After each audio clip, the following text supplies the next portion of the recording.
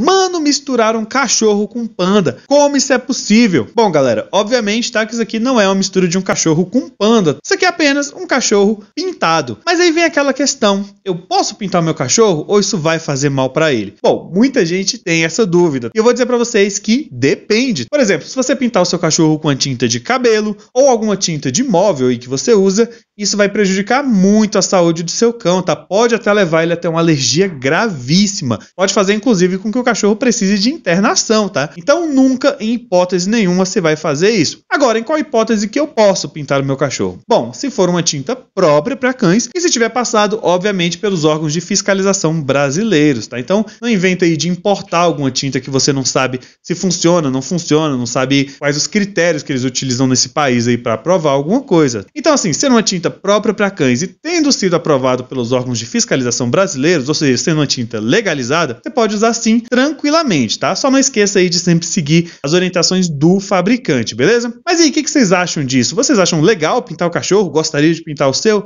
Ou você acha isso bobagem, que isso tira a naturalidade do cachorro? Acha isso uma coisa ridícula? Coloque aí nos comentários, tá gostando ou não gostando? É importante saber a opinião de vocês.